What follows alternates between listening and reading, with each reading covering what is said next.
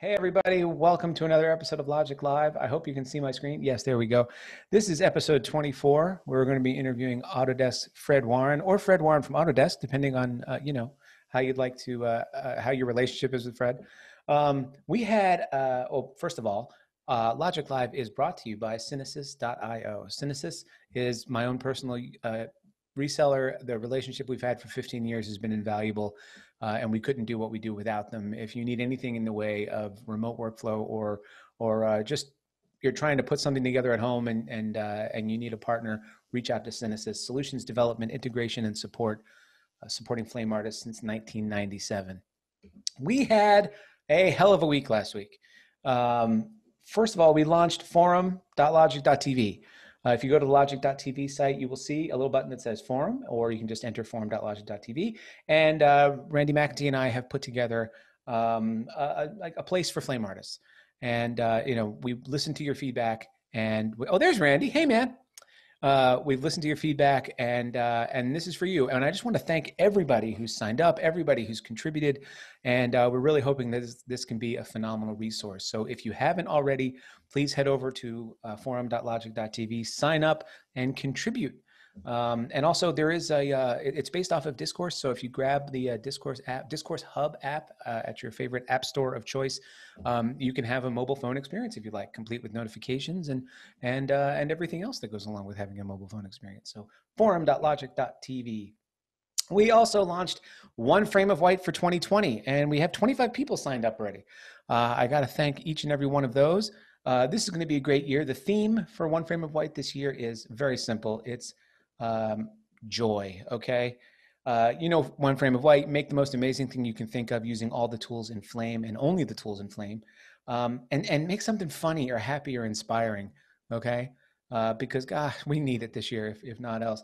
Uh, the contest is running now. Entries are due on September 30th at uh, just before the stroke of midnight here in New York time. And uh, we've got a hell of a lineup of prizes for everybody.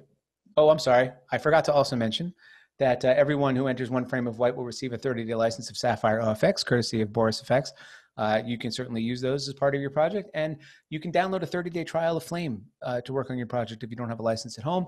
Details of that are at oneframeofwhite.com, including all the rules and other specifics. And what a lineup of prizes we have for you! First place is a Dell 7750 mobile laptop mobile workstation as they like to call it. And i grabbed this image off of the dell website for the their uh, workstation laptops. So um, this seems familiar. I know fred recognizes this interface and we're going to we're to talk about that in a few minutes. Uh, this is a fully loaded machine. It's absolutely tricked out and it comes to us courtesy of dell intel and nvidia. Second place is a 12 month license of flame. And third place is a 12 month license of flare both courtesy of autodesk.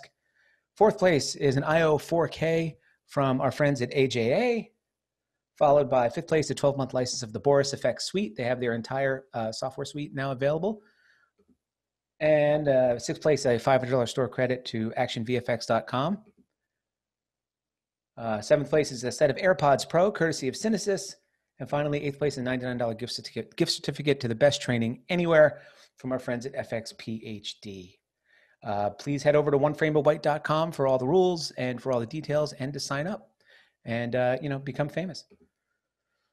Make yourself a flame legend. All right speaking of flame legends i would like to welcome my friend and uh, my personal python sherpa uh, fred warren back to logik live. Fred are you there? Yeah am i the first uh, two times uh, invitee.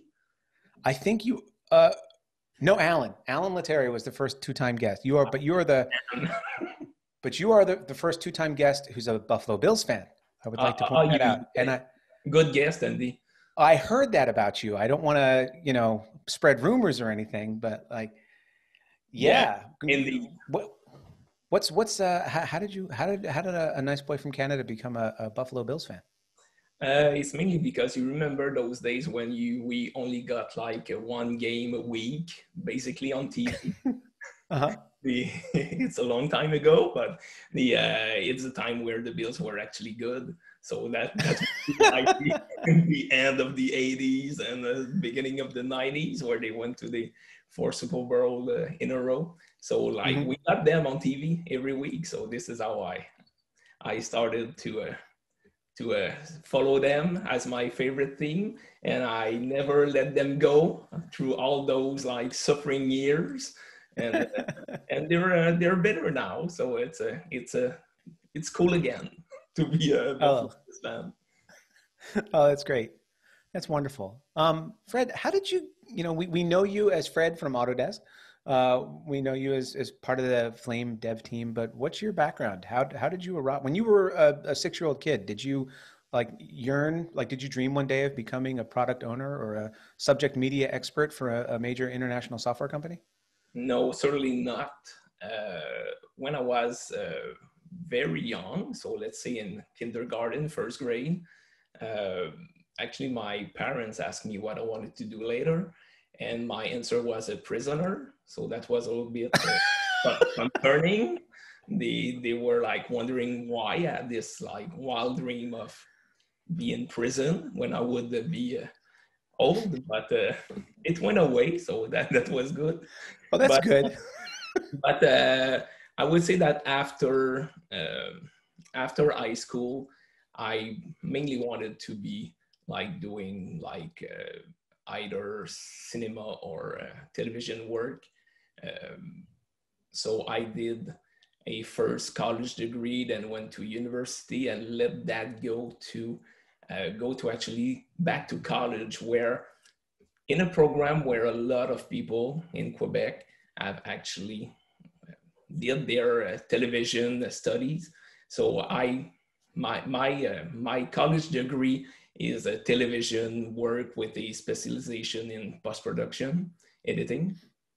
And I would say that at Autodesk and the Flame team, it, it's a total guess, but we probably have around, let's say, I would say at least 40 people who at one time worked in the Flame team that are that did that same exact college degree, Stéphane Labrie being one of those. He finished a little bit uh, before me, but uh, but we have uh, still quite a few people who who did that that same education, and I got we got actually the the year that I finished my degree is the first year where we got a flame at that school. Uh, so we, we were the, the first one trying to actually do something with it, right? And there was always internship uh, before that, going from that school to uh, to Autodesk, and we I actually got an internship in the uh, QA department for smoke. Uh, so I, I did my uh, internship there. At the end of it, prayed that they wouldn't hire me. Because, How come? But, but the, there's two things, right? The the first thing is I, I wanted to do pro, uh, production work. I want like my dream was to go work for the uh, let's say French version of ESPN. Um, so I wanted to to go there, but in a way I was like I cannot say no to a job, right? If they offer me something, I need to to take it, and uh, I I can always try to search for something else in the meantime. Uh, the other part is that during my internship, Stéphane Labrie had me go through the text module, like, and list basically every buttons, like minimum value, maximum values, type of buttons, blah, blah, blah, in a Excel spreadsheet. And I was like, yeah, that's quite boring a little bit. So I said, like, I'm not too sure that this is what I want to do. But Stéphane offered me a, a contract, so I took it. It was a contract, wasn't it? It was not a full time job anyway. Uh, so on the last Friday of my internship, he said, "We would like to have you back." I showed up on the next Monday, and he said, "You know what you did for the the text module? Uh, you're gonna do it for the entire software now." it, it took me three months, I think, and that's twenty one year ago. So that was in 99. So I didn't want like them to offer me a job, but I'm still, uh, I'm still there. I'm still there. I'm not sure what it tells about, about do my, you, uh, do you still have those Excel spreadsheets? you know what? Um, I used to because we we are moving quite a lot in, inside the office. We're always like changing spots. Uh, and I've always followed them. If uh, I have to bring them with me. And the last time we moved, I was like, oh, you know what? It's been 20 years. It was like three binders of like uh, of Excel spreadsheet, and I was like, oh, you know what? It's just like nostalgia stuff. I, I can uh, I can let it go. You can let it go. I love the memory now. That's that's a hell of a way to learn the software, though. I mean, oh oh it's, yeah, it's actually a wonderful way to learn software. Oh yeah, because I mean, I had to go through basically all buttons and try to understand what it was doing. Uh, so yeah, yeah, you couldn't ask when you have the luxury of having that time to try everything like one by one. That's uh, that's really really good. That's I don't think there's a better way to learn the software itself.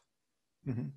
So you started out at Q and A, and yes, for where did you go? Where did you go from there? So for five years, I was a QA on Smoke, when I started, like I just said, uh, Stéphane Labrie was the uh, QA team leader for Smoke. So I worked with him and he left not so long after for what back in the days we call like product specialists, which are which were really like designers. So you remember Martin Ely was the mm-hmm. the design product specialist for Flame. And when the product specialist for Smoke, who was uh, Louis Girardin back in, in the days, left, Stéphane took the position. And, that's, and they worked, the, the two of them, for a few years. And at some point, they said, you know what, we would like to have a third person. And Stéphane uh, particularly wanted more of a, an assistant to help him. So he asked me if I was interested in, in the job, and I took it. So this is where I moved to uh, to the uh, product specialist uh, department at the beginning of 2005. And uh, just for the, the, the anecdote, the first thing he asked me to do was to, because he was starting to work on the uh, conform from FCP 7 back in that day. Mm-hmm. Uh, so he asked me to list in an Excel spreadsheet every every controls of FCP7 to see how we could translate them into uh, into smoke and flame at that time. So it's again, I, it seems like he's always hiring me to, to do the just boring stuff. so uh, it took me again like a good month or two uh, to uh, to do all of this.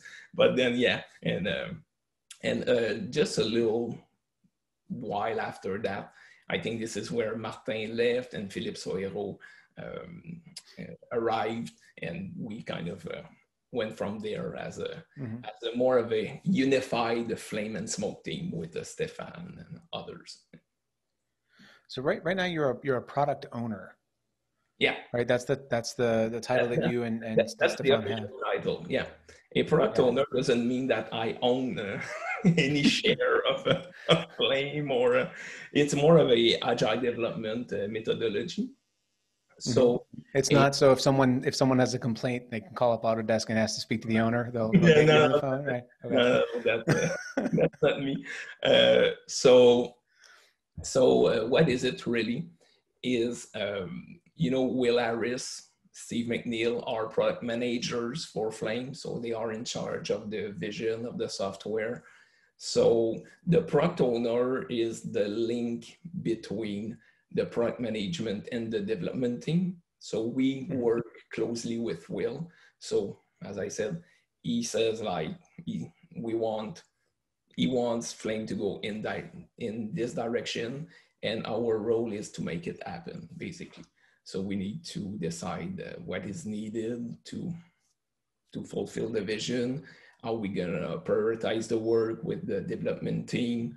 So this is basically the uh, the the clear uh, the clear uh, summary of what is a product owner. How like the table of organization works. Yeah. Okay. And as part of that, what we're doing maybe a little bit different than other teams is that in our case, the the product owners mainly, like like myself, Stéphane, are also designing the the features.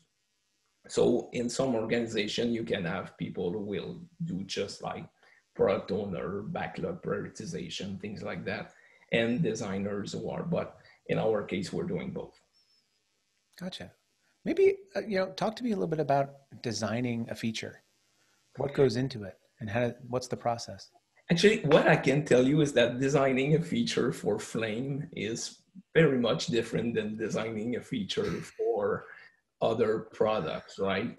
The and I'm not saying because it's Flame, but it's more like designing a feature for 30 years old application. It's pretty much different than designing just something for a web page or something like that. Obviously, and we had experience in the past where we had like really designers who had like a, degree in design, right?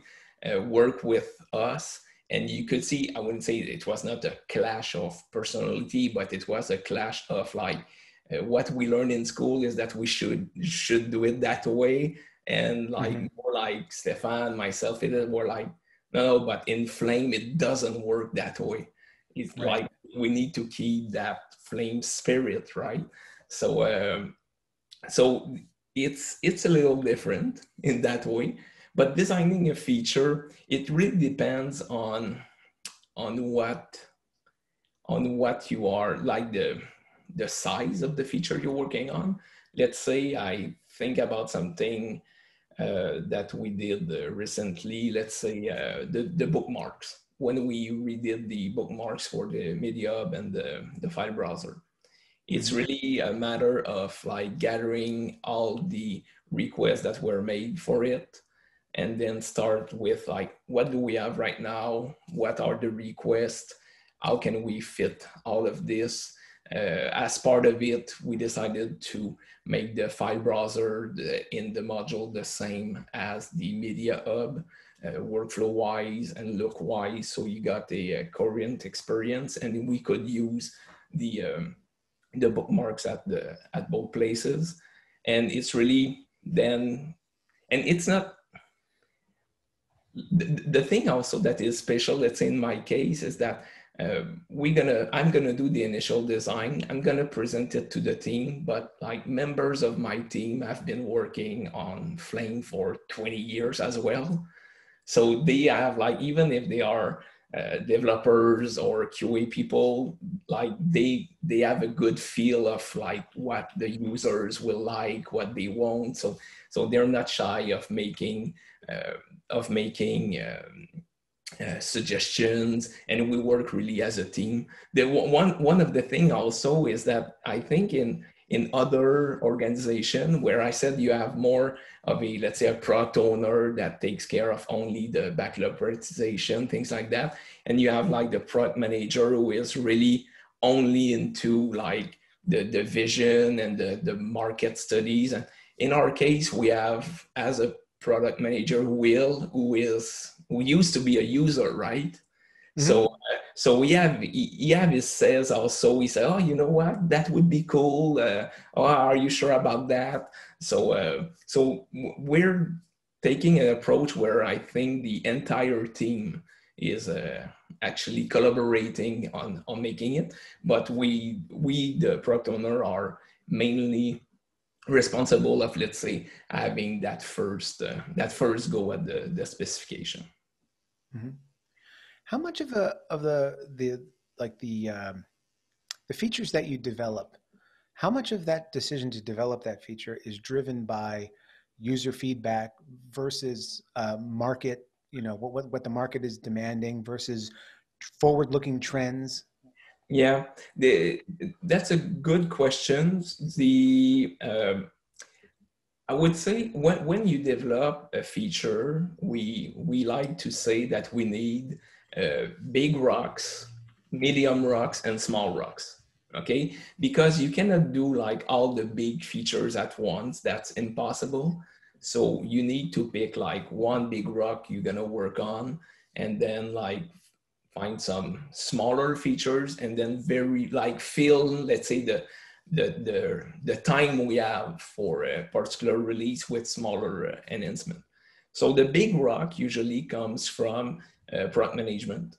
So it's usually something that is more a vision. A good example in the in the recent years is Dolby Vision support, right? That was quite a large feature. We had a dedicated team for it. So Will said, you know what, uh, for to, to make sure that we stay relevant for episodic work like Netflix, uh, like uh, OTT stuff, that they are they're gonna have this requirement. We need to actually support Dolby Vision.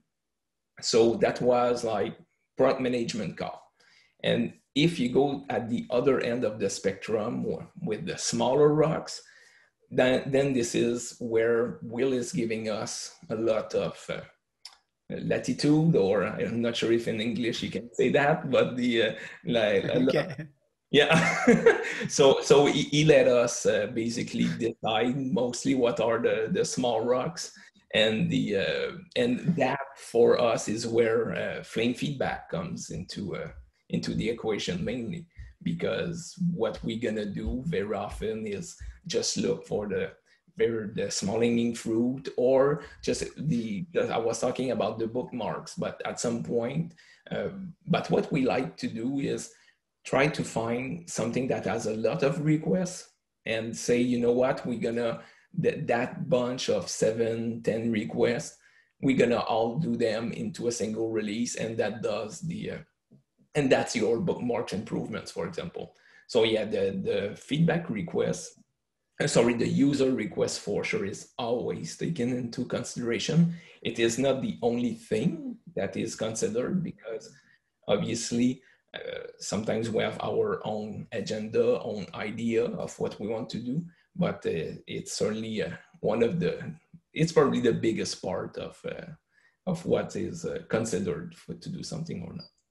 I think, I mean, my, my favorite uh, follow up to every release is you know your your e- email or your posting that comes out with like yeah. here are the 82 things you know that we've implemented based on user feedback uh, especially when some of them are mine so, oh yeah, yeah.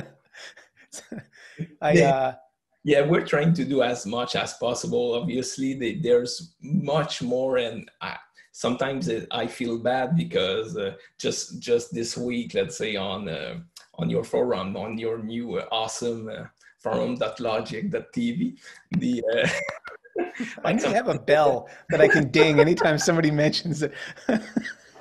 Somebody said. Um, somebody said, "Oh, you know what? Uh, Blackmagic Raw uh, has been asked uh, on Flame Feedback uh, for uh, two years or three years or something like that." And obviously, we cannot do all of them, right?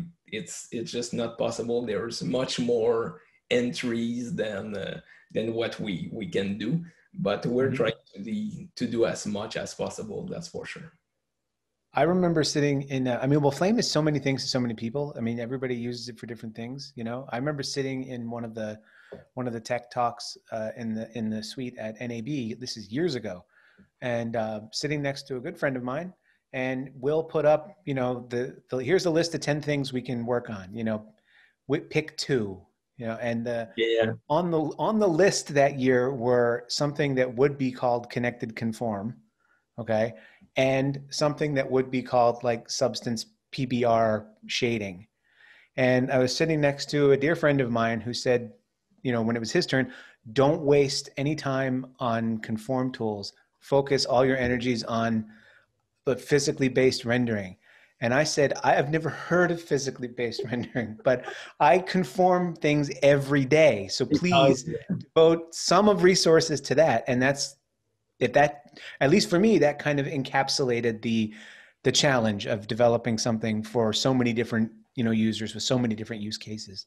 it, it is a challenge. It, I mean, sometimes we make we need to make changes, right? And we know that it's not everybody will like it and sometimes like people will react saying like nobody asked for that yeah no like we, we actually had people ask for it yeah somebody did yeah so, um, uh, Yeah, yes. I got. I have a question for you here uh, from from uh, from Quinn. His question is, what's a feature request that goes deepest into the code or becomes one of the hardest to implement due to historical code issues? Uh, it's it's really hard to say. The you need to you need to keep in mind that Flame is like 30 years old, like a 30 years old piece of code. So it depends, I would say, on the I mean, not on the frequency of where we need to go make a change on it, but let's say action is something that has been evolving at almost every release, right? So like there's a good knowledge of that code and there's it's not much of an issue to actually have somebody who knows what it is doing but there are some other parts where like the code has literally not has changed for the past 20 years and people's are like oh yeah i'm not sure like what's going on there. So those are more of a challenge but as i said one of the strength of the, the team that we have is that we actually have quite a lot of people who have been working on flame for 15 20 years so we still have quite a good knowledge of what's, what's going on. So that's a that's a that's good. But yeah, they I are. Think, uh, go ahead, no, I, I, was about to say there are some cases where we want to do go make a change somewhere, and we're all yeah, I'm not sure what's happening there. I'm not sure what this piece of code is supposed to do.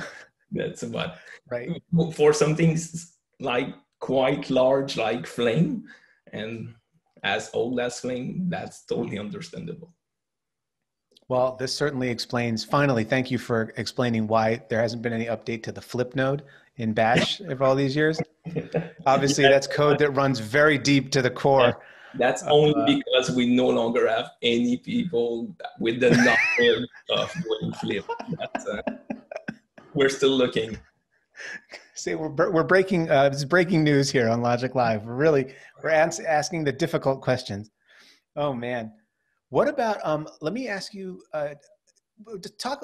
We've talked about feedback before and like the how important user feedback is. Um, what about uh, the most what I think is the most controversial subject usually that comes up with changes to Flame, and that's hotkeys. You, are also the of the the you're you're a guardian of many things in Flame, a keeper of many keys, but hotkeys always also come into your your purview, and and it, it seems that when something has to change, the feedback is is particularly harsh when it comes to changing anybody's muscle memory. Yeah, but it, it is, and for sure it's we totally understand the muscle memory part. That's and that that's legitimate right? That i mean it's true that we are messing with the with the muscle memory. But in a way so first thing okay one of the myths that is out there is like us changing keyboard shortcuts for no reason I don't think that ever happened. Like it, we never encountered like a day where we were like, yeah, I don't think we have anything to do today, so let's just change shortcuts assignation just for, just for fun. Uh, yeah. So it never happened. But shortcuts are, it's not easy, right?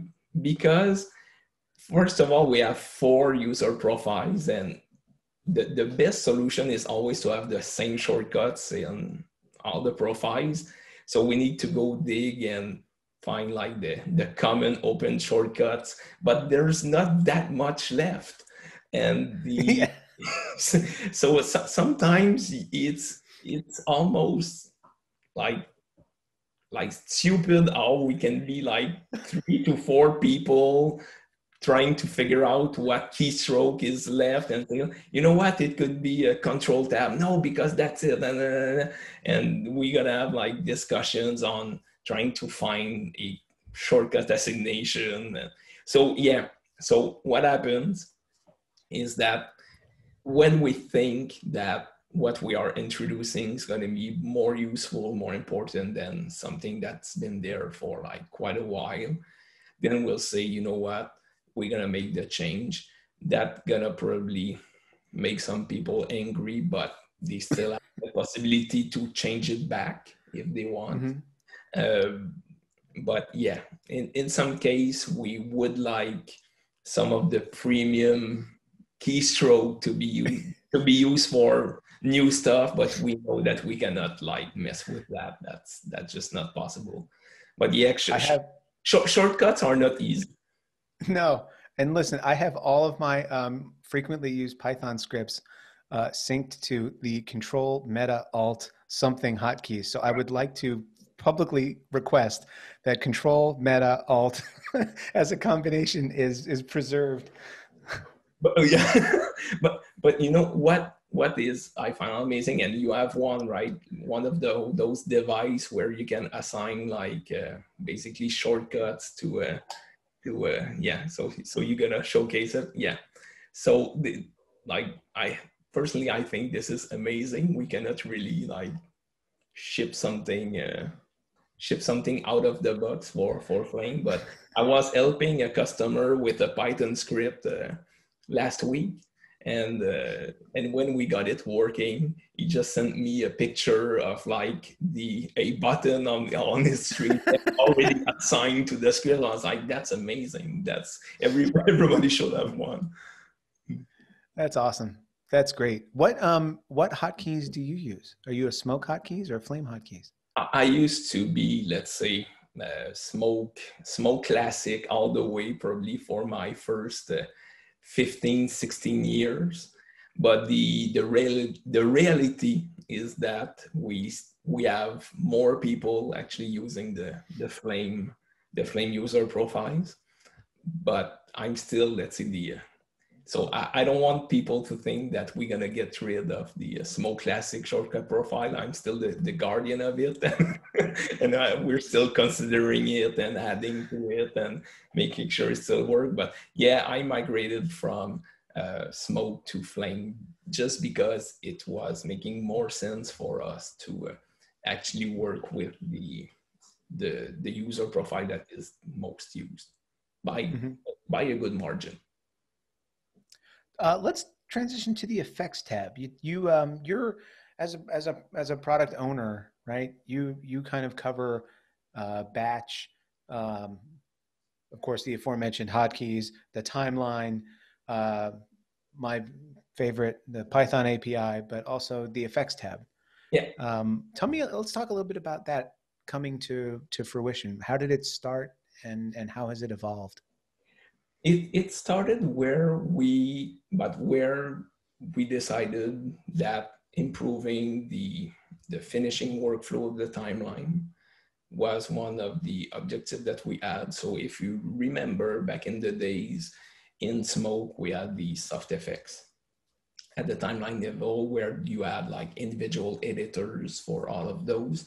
Then we went through the highly successful 20th anniversary where we uh, release. I remember. Yeah, yeah, yeah. It's uh, this is where the the gray and the white started to appear in my beard. The uh, you're so, about to turn thirty, right? Is that what you're saying?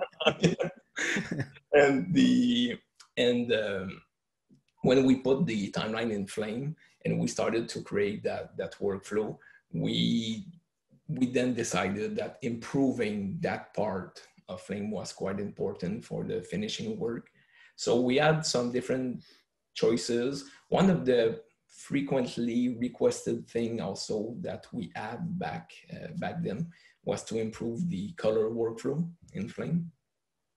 And this is not really something that we thought that batch was well suited for. So we decided to take all of those requests, create a new tab that would make uh, make actually both possible. So we didn't go with a solution where we would have a tab dedicated to color and then a tab dedicated to finishing, but to do all of it uh, in the same environment.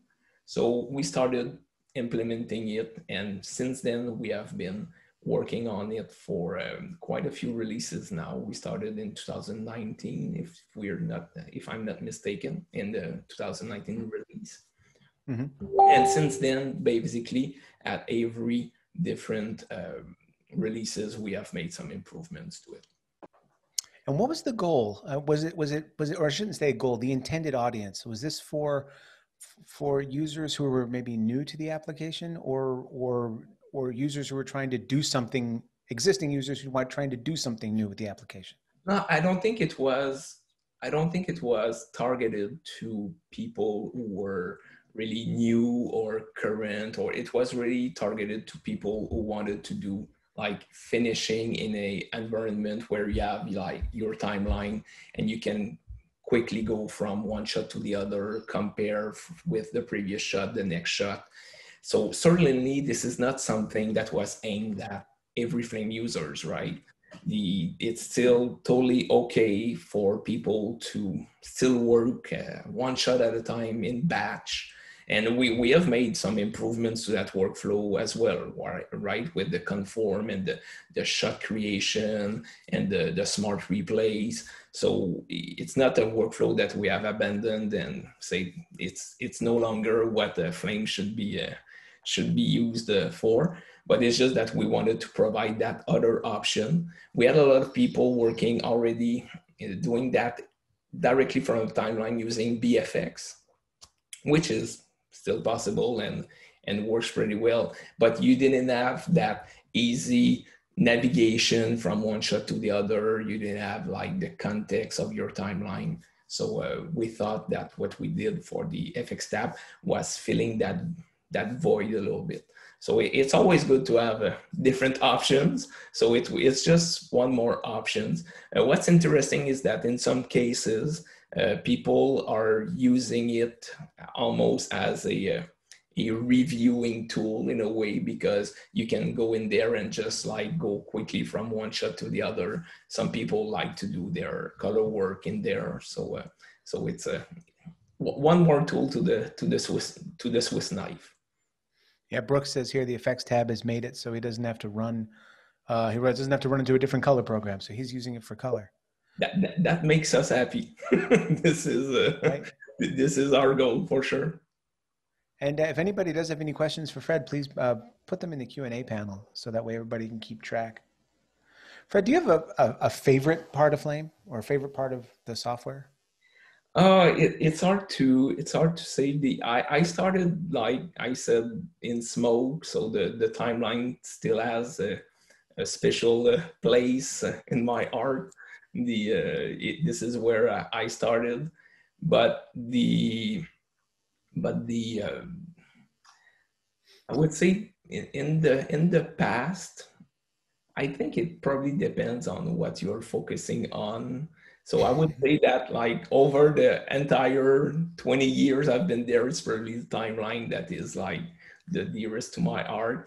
But I started to like grow on on a batch and recently we were spending much time on the FX tab, so it has a it has a little uh, a special space as well.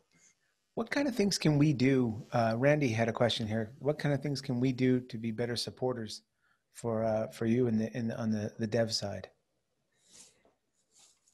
It's it's a it's a tough question because you are already like great supporters that's if there's one thing and i think everybody know about it right is that we have a, an incredible community of users the the best thing that you can do is just make sure that you continue giving feedback uh, that's for sure uh, not only positive feedback positive feedback is always nice I mean, anybody who does something and put it out there likes to have people saying, oh, what you did is great, just like uh, Brooke just told, right? I, I'm using it all the time. I don't have to use that music to our ears that this is what we're doing the, the, the software for.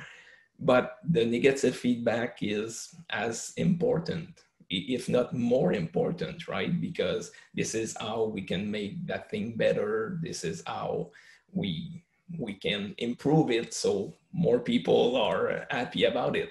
So so yeah, be constructive in your uh, criticism. I think is a very well said by Quinn here. This is I know this is sometimes hard. Uh, you may be uh, finishing a 16 hours a day of work and didn't work well, and you're not uh, really happy about it, and you need a place to vent. That's that's understandable. But yeah, constructive criticism is probably the, the best thing that you can do. Very good. I got two more questions for you here. Uh, Valentine's wondering, uh, he says, I, uh, Flame on Mac can use ICC monitor profiles, but Flame on Linux cannot. Do you know why? Uh, you know what? I don't know. I, I really don't know. That, that would be, a, this is something I can uh, take a note on and uh, ask our color scientist, Doug Walker, about that. Mm-hmm. I, couldn't answer that. I, I'll email it to you after we're done. And then um, Brooks was wondering um, what's going on with uh, with with with Flame Assist. He says uh, actually the question was I wonder what's going on with Smoke and I guess Flame Assist.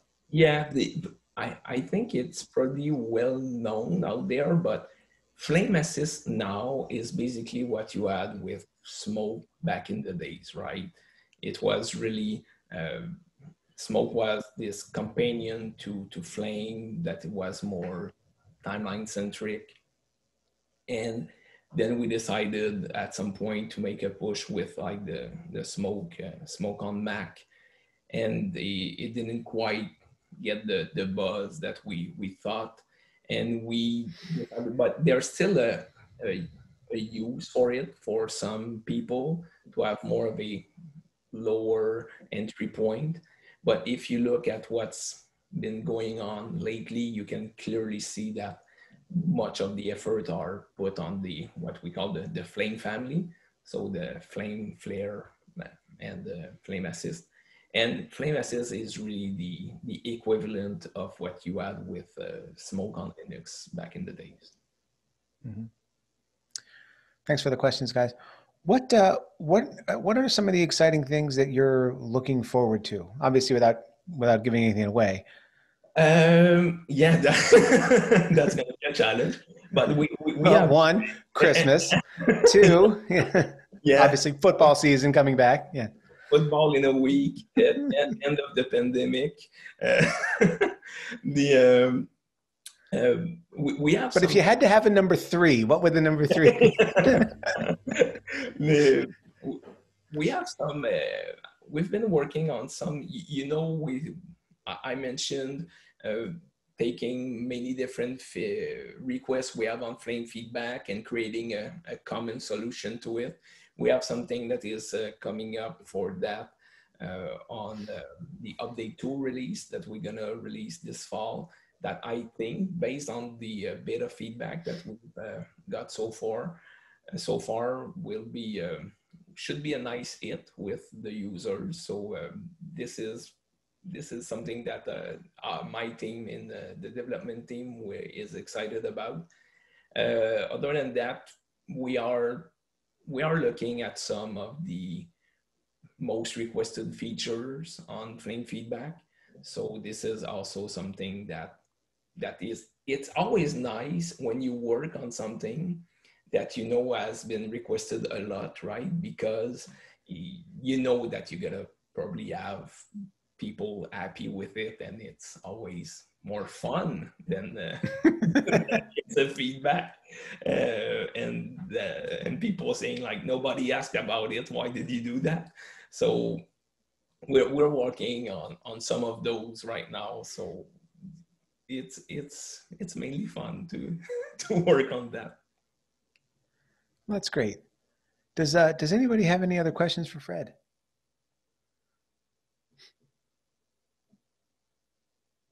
Well, give them a couple minutes. I, uh, I, I just want to thank you for for uh, always being so generous with your time uh, for the community. I mean, I, I, know anybody.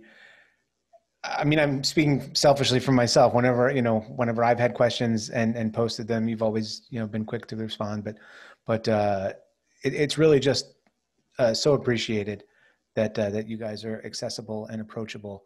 And uh, and I just want to say thank you now that I've got you here yeah, I, I, I think it's uh, I think it's probably one of the the strengths of the the flame team personally i think you have a, a whole variety of people who will answer right? It's not only uh, product management or uh, designers but we have a bunch of developers who are monitoring like the different forums uh, every day and who are uh, looking at the feedback.